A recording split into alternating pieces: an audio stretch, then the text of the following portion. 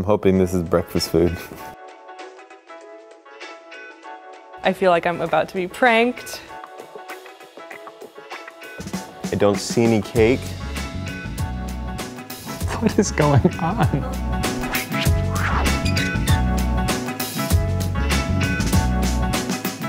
It has my name on it? What is this? I'm supposed to just, wait, hold, hang on. I'm just take, To Ashly. Wait, what? What is it? Oh my God. Holy. This isn't cake.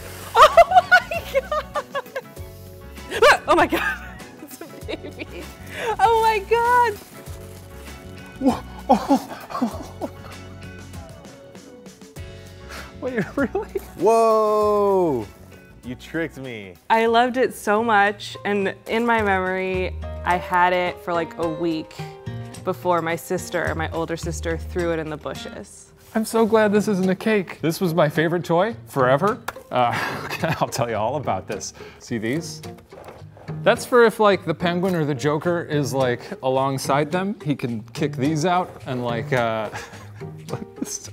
sorry, I'm still so excited. I'm so happy right now. When I was like seven, I asked for Frankenstein, and all of my aunts and uncles and my parents were like, You should get a doll, you should get a, you know. And I wanted Frankenstein so badly, and they did the old switcheroo and put Frankenstein in an American Girl doll. And so when I was opening the present, I was like, Oh, I don't want this doll. And I opened it, and it was Frankenstein.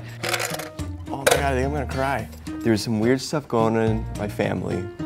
And I woke up one day and my parents had thrown away all my toys. Well, a lot of like my Disney toys and stuff. It's always been like a really weird thing. Like, it seems really stupid, but like to wake up and like something that was like important to you as a kid just like isn't there anymore. Back in the day, this was my boombox. This was my little like recorder. I could do everything with this thing. So I would make my own little like radio shows with my dad and my mom, and I would do little interviews. Oh my god, this is amazing.